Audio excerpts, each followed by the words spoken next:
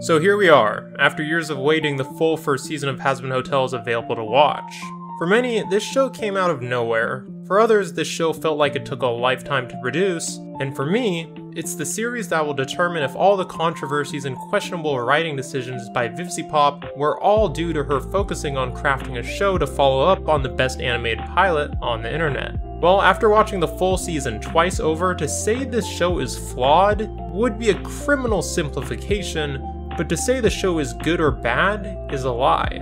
I'm going to begin with a simplified yet lengthy summary of the events that transpire throughout the series, so if you want to get right to the review, skip to the time displayed on screen. The show starts with the Princess of Hell Charlie reading the story of Lucifer's fall from heaven, the creation of Hell, and the yearly exterminations carried out by Heaven on Hell to prevent an uprising. She's interrupted by her girlfriend Vaggie, who brings her down to the lobby to watch an advertisement of the hotel that they have opened, named the Hazbin Hotel.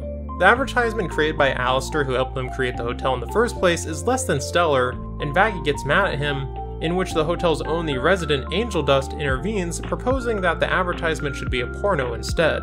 While the three are bickering, Charlie gets a call from her father asking her to meet with a representative from Heaven in his stead. After traveling to the Heaven Embassy, she meets with the first man, Adam, where she tries to pitch the purpose of her hotel, which is a hotel that rehabilitates sinners so that they can get into heaven. Adam shoots down her idea and instead drops the bombshell that the yearly extermination is now going to be executed once every six months instead. Charlie heads back to the hotel, and news breaks out announcing the change, putting all of Hell into a panic. Meanwhile, one of the overlords of Hell and Angel Dust's pimp, Valentino, is outraged that Angel Dust moved to the hotel in the first place and convenes with another overlord, Vox, about the situation. Vox couldn't care less about the situation until Valentino mentions that Alastor also resides at the hotel. Turns out that Vox and Alastor are rivals, and Alastor has been missing for seven years, so this is huge news to him, and he wants to get someone inside the hotel to spy for them. Vox then recruits a demon named Sir Pentious who enrolls in the hotel but is quickly exposed. Instead of being executed like Angel Dust and Vaggie want him to be, he is forgiven by Charlie and becomes a permanent resident of the hotel. While the residents of the hotel are working on trust exercises, Alastor leaves to attend a meeting with the other overlords of Hell accompanied by Sir Pentious' egg minions. At the meeting, the weapons manufacturer of the Overlords Carmilla Carmine begins to discuss the news of the new extermination schedule, but is interrupted by another Overlord and the social media manager of Vox and Valentino, Velvette. She presents the head of one of the Angel Exterminators, which is a big deal because up to this point, it was believed the Exterminators were unkillable. Velvette suggests that the Overlord should rally and fight the Exterminators now that they know that they can be killed, but Carmilla opposes this proposition due to no one knowing how the Angel even died. After a heated argument between Carmilla and Velvette, Carmilla calls off the meeting, and Alastor orders one of the egg minions to follow Carmilla. The minion witnesses the truth that it was Carmilla who killed the angel to protect her daughters during the last extermination. Alastor returns to the hotel with this knowledge in mind and gives Pentious back his minions. Once the trust exercises from the rest of the cast are finished, they all move on to show and tell, but Angel Dust is interrupted when Valentino calls him down for a last minute shoot. Charlie is upset by this, and Vaggie tells her she needs to command more authority since she is the Princess of Hell. Charlie, inspired by this idea, goes to Angel's porn studio and tries to get Angel out of work by negotiating with Valentino, but only makes things worse when she catches the studio on fire. Valentino takes Angel Dust into the dressing room and demands that he tell Charlie to leave, and since Angel sold his soul to Valentino, he has no choice but to obey. Valentino then forces him to do an all-night shift, and when he gets back to the hotel, he tries to drink his pain away, but is only ridiculed by the bartender Husk for always putting up a facade to hide away the pain. This causes Angel to storm out and Vaggie orders Husk to bring him back. Husk tracks Angel Dust down to a club and rescues him when he sees his drink was spiked, but this only causes Angel to get more mad because he just wants to get high enough to forget about all the pain. Husk empathizes with Angel, revealing that he too sold his soul to Alastor, and that they are both losers, but they will just have to work through it together and face the harsh reality that they find themselves in. The two return to the hotel as friends, and Angel forgives Charlie for the trouble she caused. The next day, Charlie is panicking as the deadline for the extermination draws near, and they still haven't made any progress. Vaggie proposes that it's finally time to ask her dad for help, so that she can get a meeting with Heaven to try to convince someone with more authority than Adam. Lucifer arrives and is very hesitant at the notion of Charlie visiting heaven after what he went through, but after getting to know Charlie better and realizing how important this dream is to her, he arranges a meeting in heaven for her. Charlie goes to heaven along with a reluctant Vaggie and meets up with the two ruling Seraphim, Sarah and Emily. While Charlie is out sightseeing with Emily, Vaggie is cornered by Adam, who recognizes her as one of his ex-exterminators and blackmails her to try to sabotage the upcoming trial that is going to be held between them and the Seraphims. Once the trial begins, Charlie presents a view of what good Angel Dust is up to in hell while he's spending a night on the town with his old friend Cherry Bomb and the rest of the cast, and to Adam and Sarah's surprise, he commits a multitude of noble acts such as stopping the hotel's janitor Nifty from stealing cleaning supplies and standing up to Valentino when he preyed on his friends despite him inevitably getting punished for it later. Adam then brings up the point that if he's such a good person, then why isn't he in heaven? Nobody has an answer to this, and Charlie realizes that nobody in heaven actually knows what it takes to pass divine judgment. This causes an outrage as Emily tries to defend Charlie's proposition, and Adam accidentally reveals that he's looking forward to killing Charlie in the next extermination, which up to this point nobody in heaven besides Adam and Sarah knew about. Sarah silences the commotion, and Adam reveals to Charlie that Vaggie used to be an angel before he sends her back down to hell. Charlie is heartbroken not only that she failed to convince Heaven, but that Vaggie has also been lying to her, and wallows in anguish until Alastor offers her a deal that would provide her with the information needed to protect themselves from the exterminators in exchange for a favor in the future.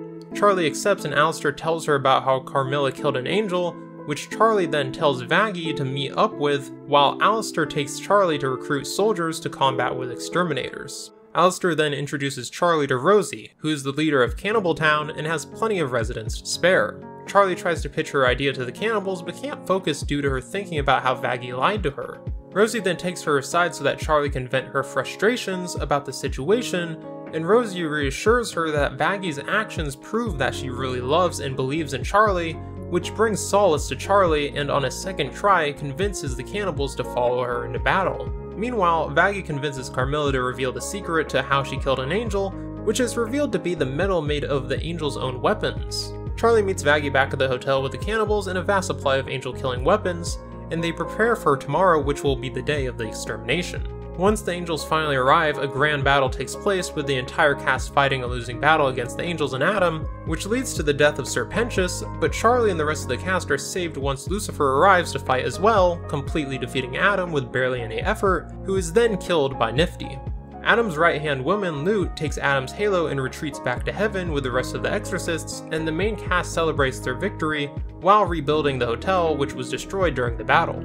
The season then ends on a cliffhanger where Lute presents Adam's halo to Lilith, who has been in heaven this whole time, and tells her now that Adam is dead and Lute is in charge, the deal that Lilith struck is over and she needs to stop her daughter, Charlie. So in case you couldn't tell from the summary, this show has a comical amount of characters for the 8 episodes it has. Our protagonist and Princess of Hell, Charlie, certainly is a character that I fell in and out of love with throughout the show. She is still the neurotic bundle of joy we met in the pilot, and although I doubt is going to end up being anyone's favorite character, there are multiple moments throughout the show with her adorable nature that steals many of the scenes she's in, and she's very easy to empathize with as we get to see her go through every emotion throughout the season, be it joy, anger, sadness, or doubt. She's a well-rounded character who fit in and contributed to about every scene she's in, but despite this, I had a really hard time growing attached to her character due to her having some of the weakest arcs of any character in the entire show, which is very shocking considering that she is the central character of this season. It's also worth mentioning that most of my favorite moments with her are caused by her expressing a different side to her character, such as when she's struggling to accept that Vaggie lied to her, or when she's panicking about the hotel not working, which is both a compliment and an insult. She's such a static and predictable character that when she isn't in an unusual situation or mood, she can become very predictable, leading to her becoming an almost boring character if the spotlight is on her for an extended amount of time. By Charlie's side at almost all times in this season is Vaggie. Unfortunately, Vaggie is one of the most unnecessary and infuriating characters in this show. Vaggie retains her aggressive and authoritative demeanor from the pilot, but at the end of the day, she only exists in this show to be an accessory to Charlie. She has two big arcs in this season, the first being her taking charge of the trust exercises, and the second being her reveal as an angel. Both of these arcs are entirely focused on her relationship with Charlie, not Vaggie as a standalone character. Where this becomes a problem is that despite Charlie and Vaggie being with each other so much in this season, they have no chemistry whatsoever until episodes 7 and 8. This makes her entire existential crisis she had in episode 3 about failing to be reliable for Charlie not only feel like it comes out of nowhere because there is never a point where this element of their relationship was established to the audience, but it also rings hollow because it takes until the second to last episode of the season for their relationship to be anything more than them trying to make the hotel work. Like, seriously, you could have told me that they were sisters or that they are business partners, and I would have completely believed you because there is no romance or any sort of connection between these two for most of the series. As a byproduct of this, when she's revealed to be an angel in episode 6, this plot twist is extremely underwhelming because not only does the audience not have a reason to care about their relationship, but also by this point in the series, everyone knows that Charlie would forgive Vaggie since Charlie's primary motivation is second chances. Thankfully, Vaggie wasn't a complete waste of space since in episode 7, it's due to the angel twist that we get Charlie doubting the integrity of their relationship, which was one of Charlie's best moments. But this again all serves to make Charlie a better character, reducing Vaggie to more of a tool to improve Charlie as opposed to a decent character in her own right. There is only one moment in this entire show where Vaggie pulls her weight as a character, when she takes the lead to cheer up Charlie in episode 8 and finally adds some chemistry to their relationship. But of course, even in Vaggie's best moment, there is an underlying problem. The chemistry being sparked between Vaggie and Charlie happens in the 8th episode, which is the last episode of this season. I don't understand how this moment didn't happen in the first episode after Charlie's attempt to convince Adam failed miserably. This would have strengthened their relationship right away and established to the viewer that they really do love each other, making all of Vaggie's following arcs hit so much harder and would have given the viewer a reason to actually care. If I was the writer of this show, I would have just written Vaggie out of the show altogether, as her entire purpose is to be in a relationship with Charlie, but among the worst aspects in this show, Charlie and Vaggie's relationship is one of the greatest offenders. On a brighter note, and almost acting as the exact opposite of Charlie and Vaggie's relationship, in terms of execution, let's talk about Angel Dust and Husk. Angel Dust is one of the two characters who really does feel different than his pilot counterpart, and not for the better. Angel Dust's wittiness and mean spirited attitude have both been severely dumbed down in favor of focusing on his nonchalance and his horniness. Oh my god, his horniness.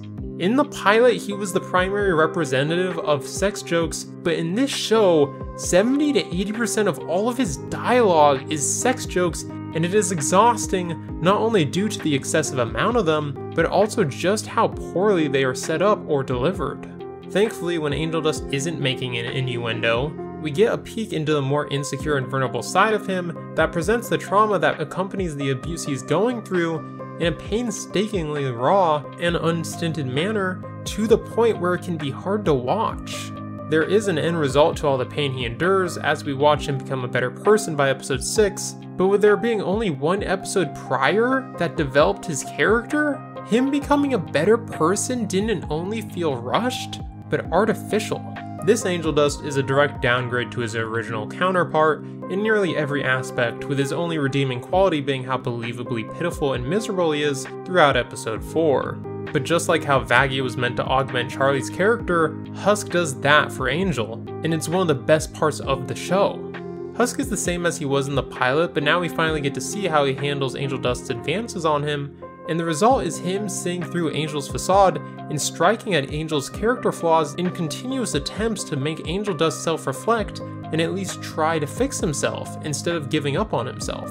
Angel Dust and Husk's dynamic with each other and how they ameliorate each other's personalities is such a strong contender for the best aspect this show has to offer that I almost would rather watch a show that focuses on these two instead of the show that was delivered. And even as his own character, Husk reveals his regrets and mistakes, which explains so much about why the way he is, so the audience has a reason to care about him as an individual character and not just as an accessory to Angel Dust. Angel Dust may not be that great of a character in his own right, but when paired with Husk, these two are a spectacle of writing imbued with depth and sincere emotion. Alastor, like Angel Dust, is another character who has changed since the pilot, but in a much more subtle way. He's still his non caring, charismatic self, but definitely to a lesser extent. He's not a major downgrade to his pilot counterpart, but he is more mysterious than he is charming, and just like the pilot, he is always keeping the viewer guessing on his true motivations. For once, though, his biggest mystery is one that is out of his control, that being what was the deal he made that is confining his freedom. Although Alastor is a fan favorite, I'm pretty indifferent to him. Throughout the series, he never really does anything that seriously impacts the story, and is kind of just an ongoing presence. An apt comparison would be he is like a decoration, always there to be looked at and perceived by others, but at the end of the day doesn't really have a purpose beyond that for now. Okay, that covers the main cast, but like I said, this show has an absurd amount of characters, so I'm just going to do a quick summary of everyone else. Nifty and Sir Pentious both serve as the comedy relief characters and are easily the funniest characters in the show. Adam is the central antagonist of the show and is my favorite character despite him being the embodiment of the written by Vivziepop meme. Lou is an accessory to Adam, Vox is amazing in every scene he's in, Valentino's character feels inconsistent with him switching between being a moron and one of the most intimidating characters in the whole show, Velvette is perfectly hateable, Cherry Bomb exists only as a running gag for Sir Pentious. Carmilla Carmine should have been written out of the show, but I will get to that later, Mimzy is a nothing character, Lucifer is a hilarious and great character who ended up being a detriment to the show, which I will also get to later, Rosie was a nice addition and a much needed grounded character, Katie Killjoy had two scenes, Sarah is a representation of the flaws of heaven, Emily should have been Charlie's love interest, and people took St. Peter's design way too seriously. This cast is great, it really is. There are so many characters from every walk of life who serve a purpose, some minor and some major, but there is no denying that there are too many characters to the point where this dynamic cast becomes one of the show's greatest flaws. Because while most of them are interesting, we simply don't have enough time to get to know all of them, and a significant amount of the show is just introducing us to characters who in the long term don't do anything. I already know what happened here. Vivian had created most of these characters years before the show was made, and she wanted to make sure every one of them had at least a single moment in the spotlight. Vivian is very good at designing and creating characters. It's arguably her best skill as a writer, so it makes sense why she would get so attached to them to the point where she doesn't want to scrap any of them. But when you have an 8 episode runtime, as a professional writer, you sometimes have to make the tough decision to scrap or exclude characters that you like for the sake of the integrity of the final product, and she couldn't bring herself to do that. As a result, the show's pacing suffers greatly for the sake of including all these characters to the point of becoming the worst aspect of the show. This show, on top of introducing its gargantuan cast, is also simultaneously trying to tell three stories at once. Initially, the primary plot is Charlie trying to prove sinners can be redeemed by trying to improve the cast members throughout episodes 2 through 4, only for it to be thrown out for a heaven versus hell plot through episodes 5 through 8, in addition to there being the subplot of Angel Dust becoming a better person in episodes 4 and 6. I think all of these plots are interesting enough to be worth exploring, but not all at once, within the runtime that was provided. There is so much that happens in this season that you could easily spread it out throughout two seasons, which it absolutely should have done. The first season of Hazbin Hotel should have focused on the premise it introduced us to, which is the hotel trying its hardest to rehabilitate sinners. This would have given the audience time to get accustomed to the cast while naturally exploring the dynamics between the characters, while simultaneously providing world building. Throughout the first season, we could have got to see the cast bond not only with each other, but with the viewer as well, as we see the struggles and tribulations the cast must overcome for the sake of achieving this monumental goal of getting into heaven. Only for in the last episode for Charlie to get to show all the progress the viewer witnessed the cast make to Adam, only for him to shoot it down. This would have made the viewer care and want to see Charlie's dream succeed, as we would have known how hard she and the rest of the cast would have worked to get to this point and would have made a second season where we get to see the heaven versus hell plot all that more personal and have higher stakes. But instead, those events happen in the first episode, and the character growth happens over the course of the series, while simultaneously setting up the showdown versus Adam. But like I pointed out, there just isn't enough time for the viewer to connect with the cast or their cause for it to hit as hard as it should have.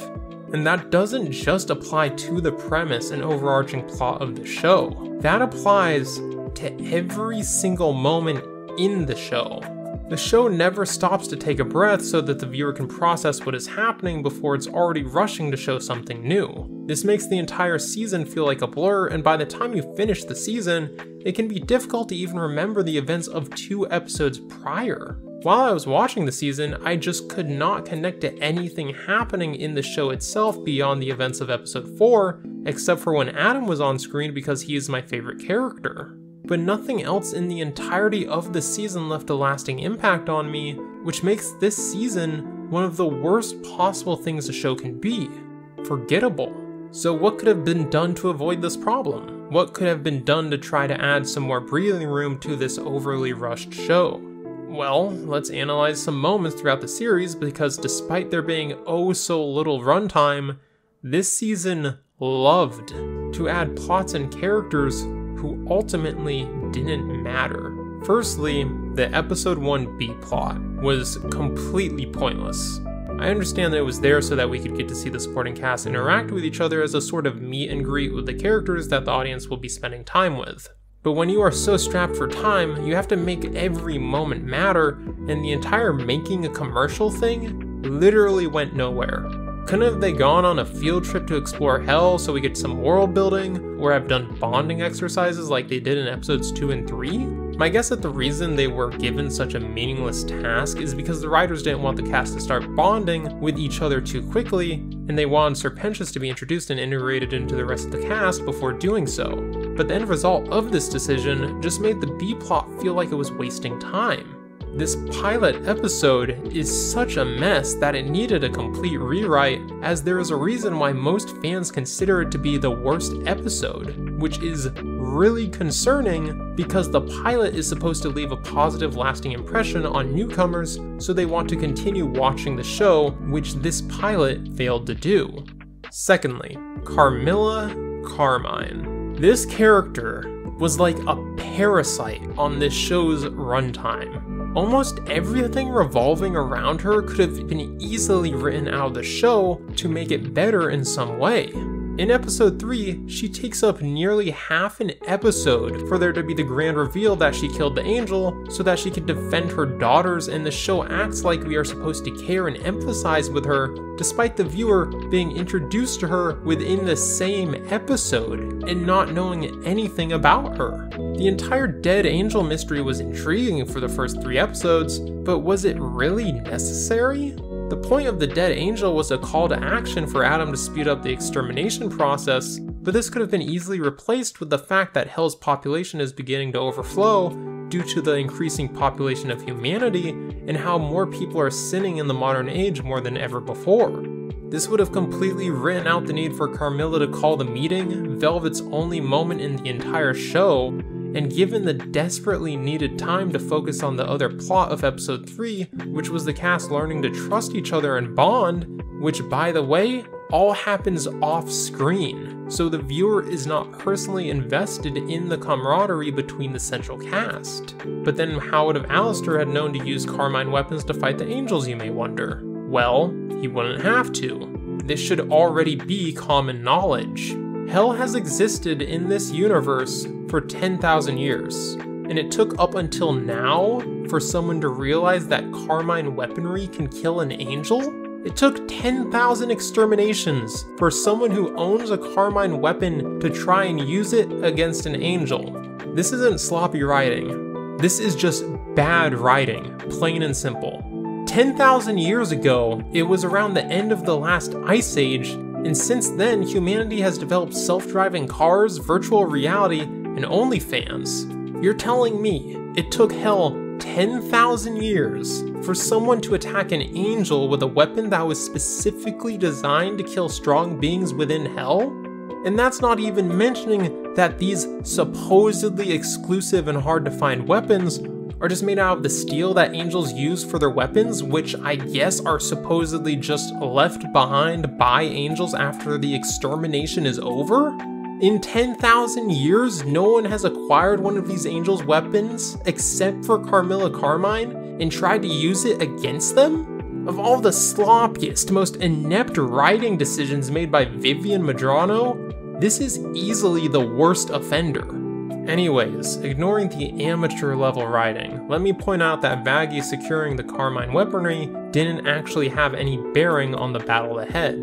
The only moment of any value that comes from her securing the weapons is when Angel Dust shoots an angel while protecting an egg minion, which was wholesome, and the moment that confirmed he has improved, but was it worth wasting half of episode 7 and 3 on?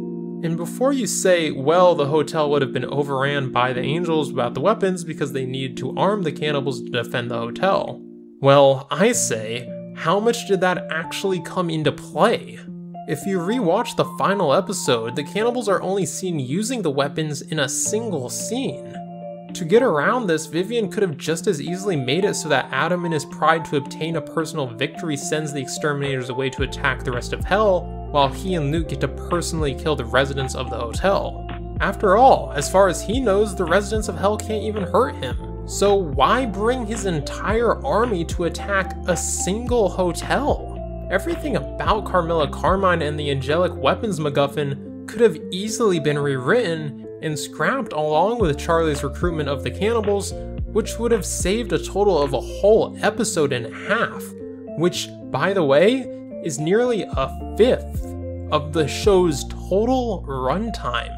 Thirdly, the V's, specifically Vox and Velvette. I like the V's, and Vox is easily one of the best characters in the show, but the reality is that he contributes next to nothing to this season. Episode 2 may be one of the season's best episodes, but ask yourself, if it was really necessary to introduce an entirely new character such as Vox, as a means of integrating another new character who we met in the same episode into the main cast. You really don't think an established character from the original pilot like Cherry Bomb couldn't have been utilized in episode 2 as a means of motivating Sir Pentious to join the hotel, which would have given us time to get to know her, so that is one less character that has to be introduced in episode 6, and would have built up her relationship as Angel's best friend over time, and be a representation of the bad behavior that he's trying to put behind him.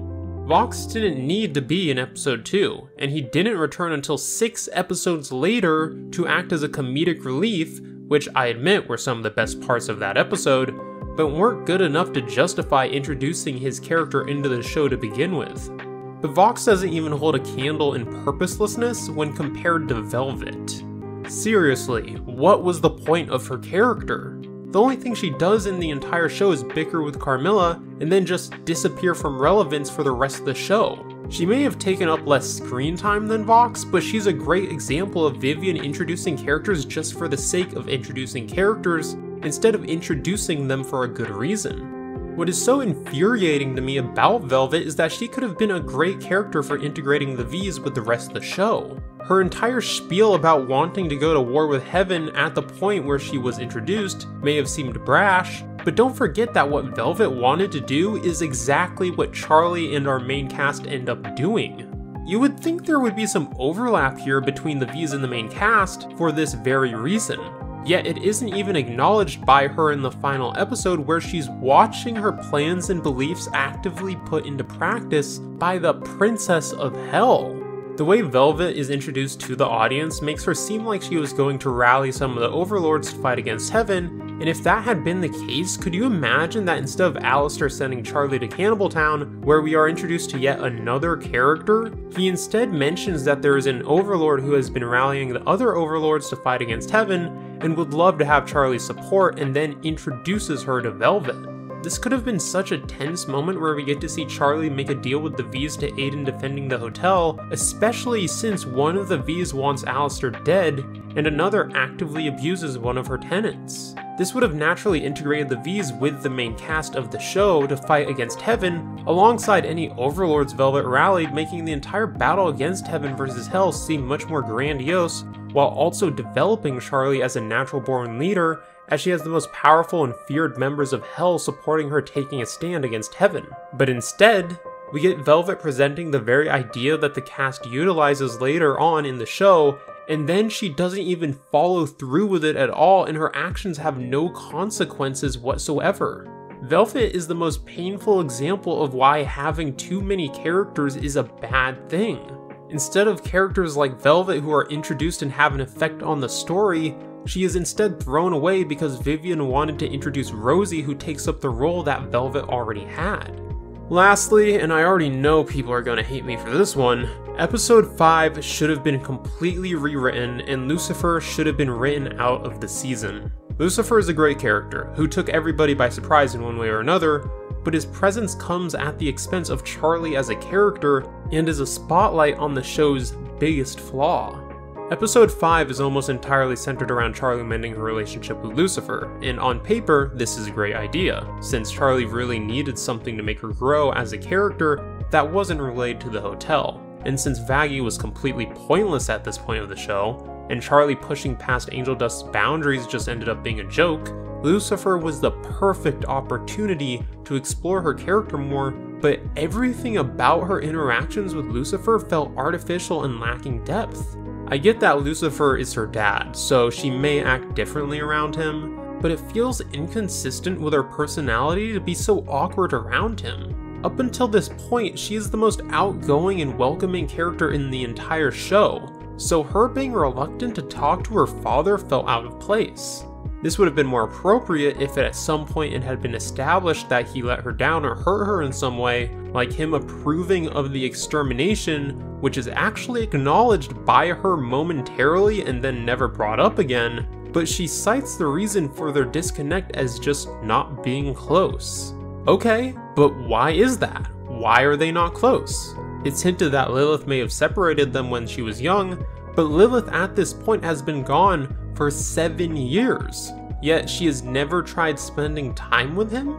There are also instances when Charlie acts almost more passive aggressive towards Lucifer rather than awkward, as if she has a grudge against him, but that's never alluded to. And with her being such a forgiving person, those moments almost feel like complete character assassination. What makes this entire dynamic even weirder is that once he shows up, she instantly starts warming up to him, despite Charlie acting like so much as talking to him over the phone is like a punishment in of itself. The final nail in the coffin for the supposed tension between the two is that at the end of the episode, both of them admit to have been wanting to get to know each other, but for some unsaid reason, neither took the initiative over the last seven years. Again, this would make sense if there was some established reason as to why these two are so hesitant to even interact with each other, but there is absolutely no context or circumstance mentioned that warrants the way these two act when around each other. The reason why this is such a big issue is that as a byproduct of the show never taking the time to build up the tension between Charlie and Lucifer, the payoff of them making up with each other at the end of the episode rings hollow because the viewer isn't given a reason to care. Before episode 5, I don't think Charlie even mentions Lucifer outside of her reading the story of Hell at the beginning of the series, in which she seemingly paints him as a victim, so based on that instance alone, one would think that Charlie would admire her father for trying something new and being berated for it, just like she is doing with her hotel. The reason why this is such a big problem isn't only that it undermines what the entirety of what episode 5 was building up to, but it highlights the biggest problem this series has. The show is trying to do so much that it can't properly build up to many of the plot points that are supposed to hook the viewer, which makes a lot of the payoffs fall flat. This happens as early as the first episode where Charlie fails at pitching the hotel to Adam, Carmilla Carmine's reasoning for killing the angel, Vaggie's reveal as an angel, and the reveal that heaven isn't as great as it seems. You could apply the failure of Lucifer and Charlie's bonding moment to most payoffs in the show, and that's what makes Lucifer's purpose in episode 5 so infuriating.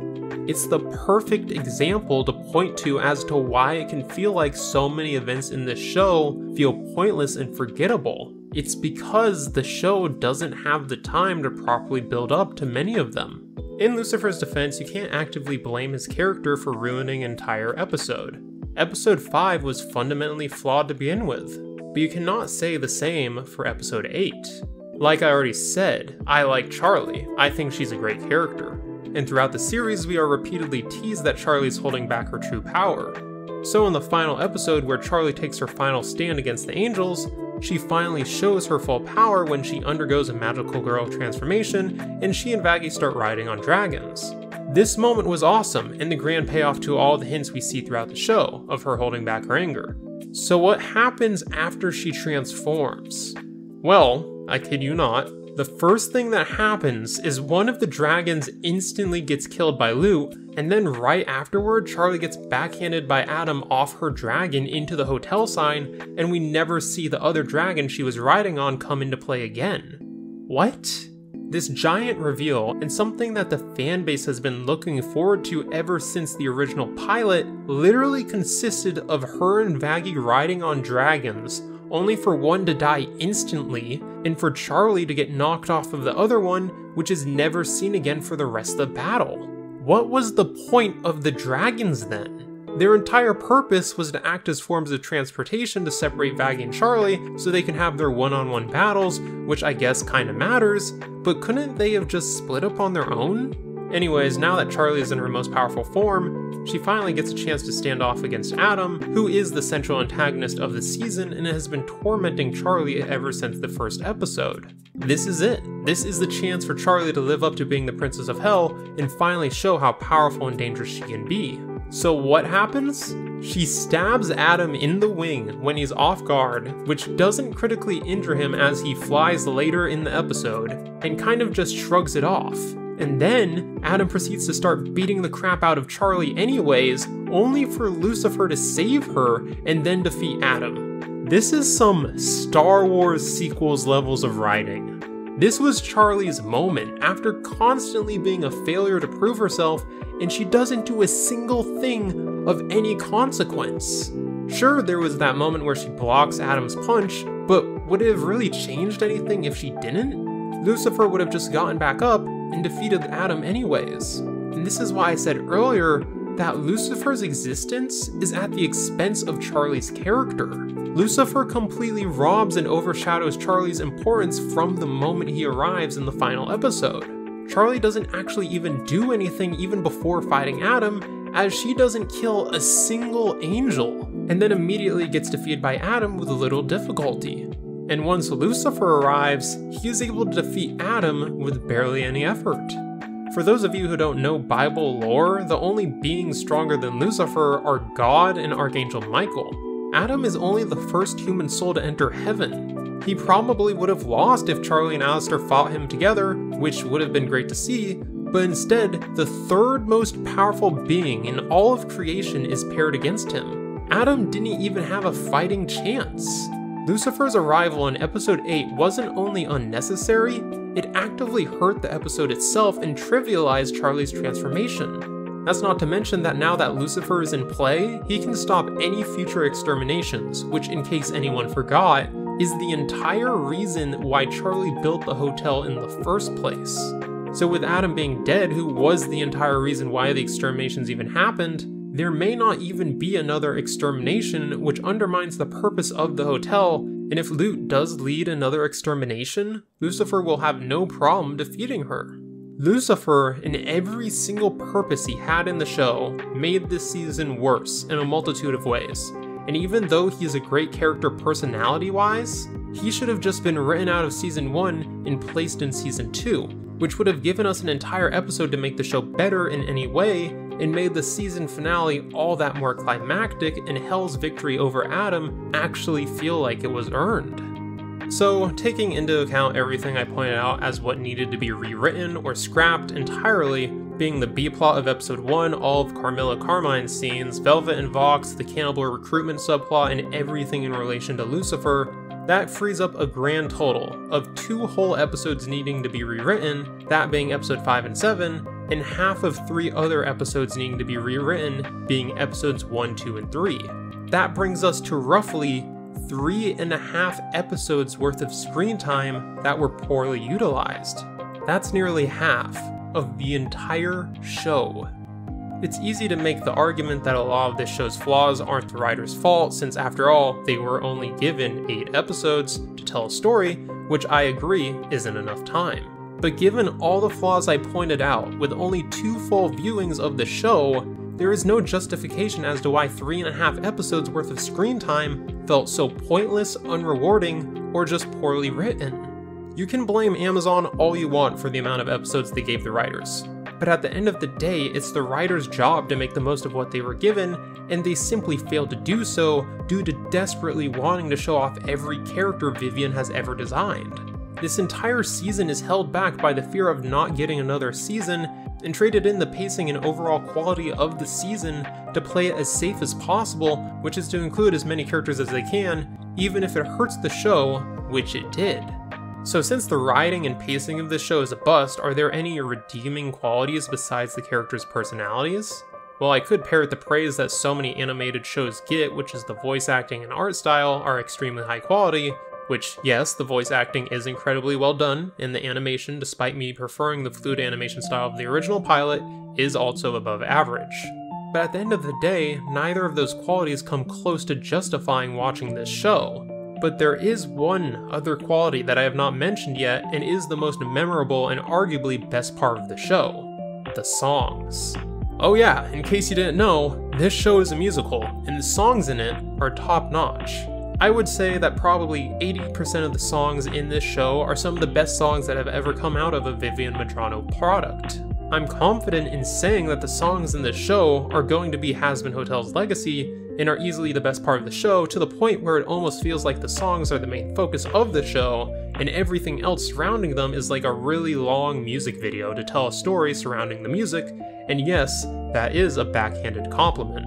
I should also mention there are two songs in every episode, which given the quality of the songs, one would think is a good thing. But given everything I have mentioned about how little runtime this show has, and taking into account that each song runs from about 2 to 3 minutes long, that's at least 4 minutes of music, and at most 6 minutes of music in every episode.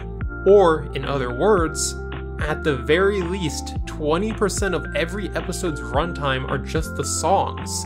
And if each song is 3 minutes, that percentage increases to 30%. If we meet in the middle, that means that just the songs alone make up for a fourth of the season's total runtime. That's the equivalent to two full episodes. In Hazbin's defense, a lot of these songs do carry meaning and are tied to the narrative, but believe me when I say that some episodes did not need two songs with all the other things happening within them. As for the show's comedy, it's just fine. I didn't really find myself laughing or even amused at the majority of the jokes throughout the season, mainly because of their poor timing, simplicity, or delivery. Thankfully, Nifty, Sir Pentious, and Adam carried this show's comedy. It's amazing how throughout an episode, 90% of the jokes can fail to entertain me, only for one of these characters to be on screen, and for me to go from unamused to audibly laughing out loud. I'm not exaggerating when I say that 90% of the jokes delivered by Adam and Nifty are some of the funniest moments from any VivziePop product, and Sir Pentious is following close behind them. If it wasn't for these three characters, I probably could have counted on one hand how many times I laughed out loud, but these three all presented some of the best moments this show has to offer. Hazbin Hotel's first season isn't a mess, or a bad show, but it has so many flaws, and they almost all revolve around the runtime. I don't like giving Vivienne the benefit of the doubt based on her creative choices with Helluva Boss, but in her defense, 8 20 minute episodes provided too short of a runtime. Viv is simply not a skilled enough writer to pull off telling a cohesive and well paced story within 8 short episodes, but I can't think of many shows that have. But like I have already said, it's the writer's job to make the most out of the runtime, and I can tell she tried by telling as many stories as possible by giving every episode an A and B plot, in lieu of one central story for each episode, with the exception of episode 4, 8, and arguably 2, which ironically most people agree are the best episodes in the season. But no matter how good Vivienne's intentions were, this decision was a bad call, and it crippled the storytelling and pacing of the show. This show was ambitious, and I admire that. But no matter how much you love this show, you cannot deny it tried to do too much. When you have an 8 episode season that is trying to juggle 3 plot lines, 2 songs per episode, and introducing and utilizing over 15 different characters, there was no way this show wasn't going to feel exorbitant or unreasonably fast paced.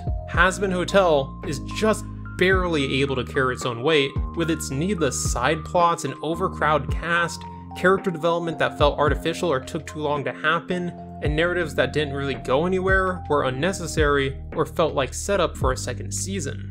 The only aspects that kept this show standing was the music and the characters, who were more entertaining than not.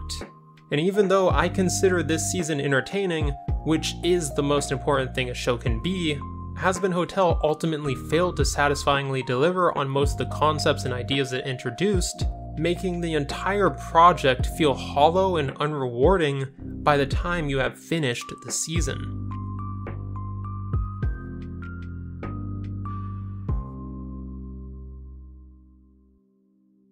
Before you found out about me, did you know angels could be harmed? No. Angelic weapons? It's that simple? How has no one else figured this out?